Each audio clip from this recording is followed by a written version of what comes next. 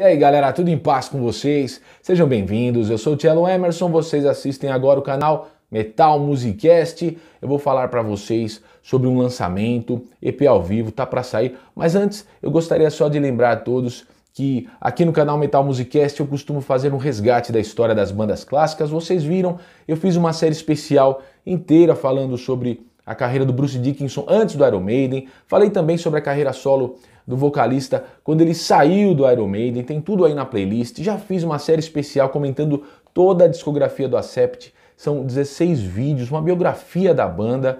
Agora eu estou fazendo com o meu amigo Daniel Yazbek a série especial Udo, discografia comentada. Conseguimos entrevistar o próprio Udo Dirk Schneider, dê uma conferida aí se você ainda não assistiu. Entrevista sensacional, curtimos demais falar com o cara.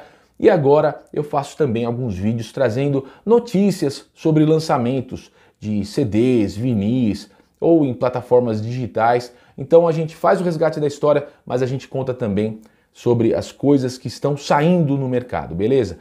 E neste vídeo aqui eu vou falar sobre a banda The Dead Daisies. Os caras estão para lançar um EP ao vivo. O ano passado eles lançaram um álbum completo chamado Holy Ground. Eu até coloquei na minha lista de melhores álbuns de hard rock de 2021. Tá aqui, ó, baita disco.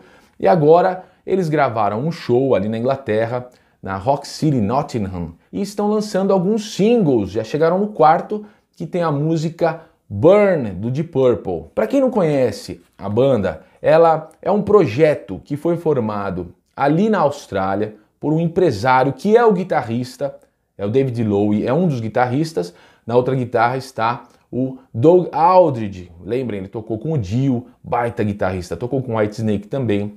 E o empresário, guitarrista, ele é um cara milionário, ele é um herdeiro de uma grande companhia de aviação ali naquele país, tem uma grana absurda e ele contrata músicos de primeira qualidade para participar do projeto dele.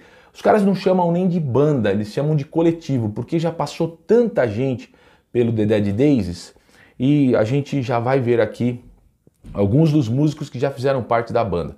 Mas agora os caras estão para lançar um EP ao vivo. Eles já lançaram quatro singles, um da música Rise Up, que está no álbum Burn It Down, que é o quarto álbum da banda. Outra música é Bustle and Flow, que está aqui no Holy Ground, né, música originalmente lançada aqui no quinto álbum. Long Way to Go, que está no Make Some Noise, que é o terceiro álbum, e agora saiu a Burn, os caras colocaram é, clipes de todas essas músicas. É, nos clipes eles têm ali lyric vídeos em algumas delas, cenas da turnê que eles fizeram ali né, pela Inglaterra. É, eu conversei com o Glenn Hughes no ano passado, pouco antes dele fazer essa, essa turnê. Confira aí também a entrevista, baita conversa que eu tive com o Glenn Hughes. Pensem o quanto eu fiquei feliz em conversar com o cara. Eu curti de Purple desde a minha adolescência. Eu curti outras bandas das quais ele fez parte é, Black Sabbath e tudo, tudo por onde ele passou eu prestei atenção. De repente eu estou recebendo a ligação do cara aqui para entrevistá-lo. A entrevista ficou boa, eu tinha alguns minutos para falar com ele, ele estava muito gripado, estava numa série de, de entrevistas para vários veículos de comunicação, estava cansado, mas mesmo assim ele foi muito simpático, muito atencioso. Você pode dar uma conferida aí no canal Metal Musicast, eu vou até colocar aí nos comentários o link para entrevista. E agora ele está no Dead Daisies. Essa banda é, não me chamou muita atenção no começo. Vou confessar para vocês. O primeiro disco deles tinha o vocalista do Inexus, John Stevens. Não me chamou muita atenção. Eu nem ouvi na época. Quando veio o segundo álbum, aí eles colocaram John Coraby, vocalista que já fez parte do Motley Crue, um cara que tem muito talento, canta muito, mas infelizmente parece não dar muita sorte, né? Porque Ali no Motley Crue ele gravou um baita álbum, que é o álbum auto-intitulado dos caras. Não tem muito a ver com o próprio Motley Crue, com os anteriores deles, mas é um baita disco. Mas não virou muito pro cara, não era uma fase boa do Motley Crue. O cara ficou com aquela pecha, tipo o Blaze Bailey no Iron Maiden, sabe? Saiu, não era o cara pra banda. Mas o disco é muito bom e o cara canta muito.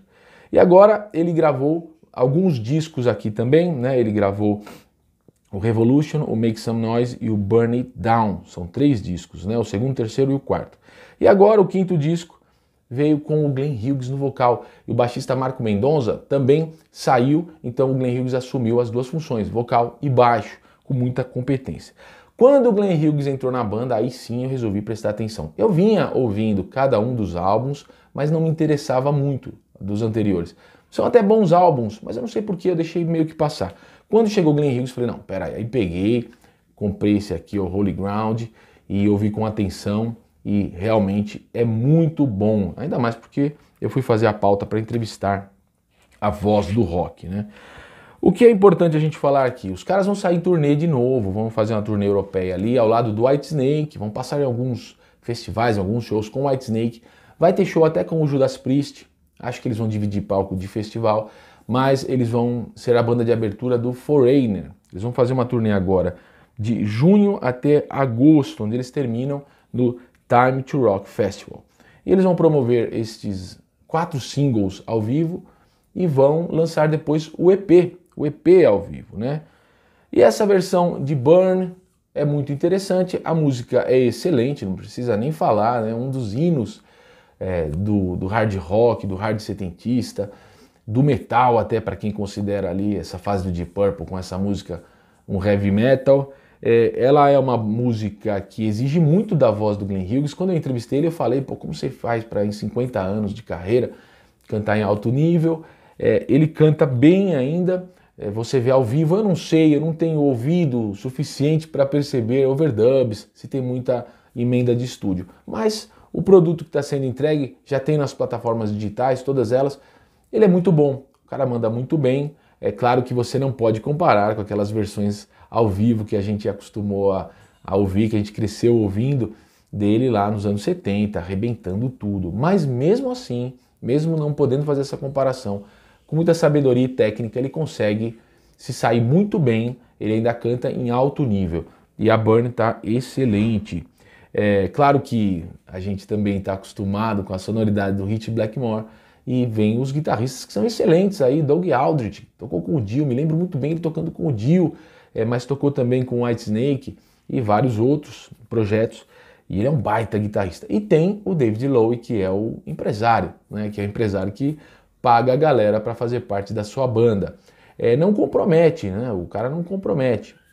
Eu até perguntei para o Glenn Hughes como é, depois de ter tocado com Tony Iommi, com Hit Blackmore, vários feras aí da guitarra, como é tocar agora com Doug Aldrich e, e, e David Lowe. É, não foi uma pergunta maliciosa, mas eu queria que ele comentasse alguma coisa a respeito disso. Como eu disse, ele estava um tanto cansado, muito gripado, as respostas dele foram objetivas, ele não se alongou muito.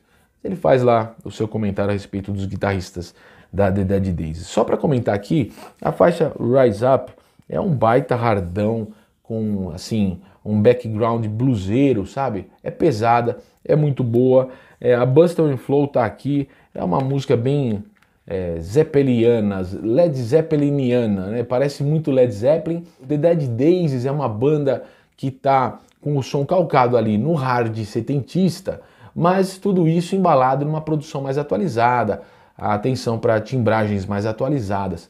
Mas é uma banda assim que não soa retrô, não soa datada, mas tem os elementos dos grandes clássicos dos anos 70. Né? Essa é a ideia, esse é o padrão que os caras seguem. Mas é bom, é bom, não é datado não, não é um negócio que você é, fica ouvindo como se fosse uma paródia. Não, é uma banda muito boa sim é, principalmente agora aqui. Eu não passei a gostar mais dos anteriores, né? eu, eu gosto mais desse com o, o Glenn Hughes. Só para constar aqui na batera, os caras têm o Brian Teach, que também toca no White Snake, e falei dos dois guitarristas, falei do Glenn Hughes. Na batera, nesse EP ao vivo, é o Tommy Clufetos, que também toca com Ozzy. Só para terminar, eu falei do Bust and Flow, falei da Rise Up e a Long Way to Go, é, que é aquele que tem um clipe de um cara na moto, na estrada, esse tipo de hardão setentista pesado, de música estradeira, mas sensacional, eu gosto muito. Então, vamos curtir The Dead Days e depois eu tenho mais vídeo de notícia sobre lançamento para vocês. Valeu? Tamo junto? Aproveitem para se inscrever, compartilhar, dar seu like aí. Valeu, forte abraço a todos vocês. Tamo junto.